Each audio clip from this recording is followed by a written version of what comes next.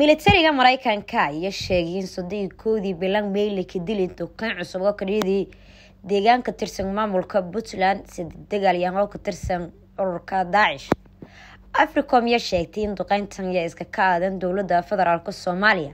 Weybana duqeyntan yaa ka dhiiday deegaan kafoog ka dhow deegaanka dhaardhaar oo qiyaastay siyeetii kow kilomitr dhanka koonfur bari kakabeegan beledka boosaaso ee xarunta gobolka bari. Soomaaliya ayaa weli muhiimiga ee ammaanka bariga africa ciidamada mareykanka ee africa wayba sii wadi doonanaa tababarowka la taliyowkiiyo qalabeynta ciidamada saaxiibada le-e iyo hanqowadeen isis iyo laka eri bayaanka kubahi africom.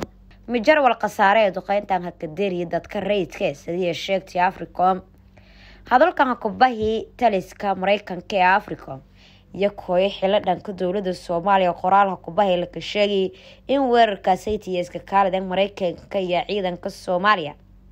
Maalmo kahor puntland iyo beenidey war hakubahi dowladda dhexe kaasaytoo sheegay in howlgal laka dili xubno shabaab oo sakadhiya gobolka bariga ee puntland. Ilaa haddama jarta dhanka maamulka puntland warwareeha hakubahi waana keedan wararkan hakubahi mareykanka iyo dowladda ee soomaaliya xamiisha ibraahim warteelka arlaadi muqdisho internet balas. Waa adeeg ay macaamiishu ka heli karaan internet faibar ah. Oo xawaarihiisu yahay labaatan megabytes ber second.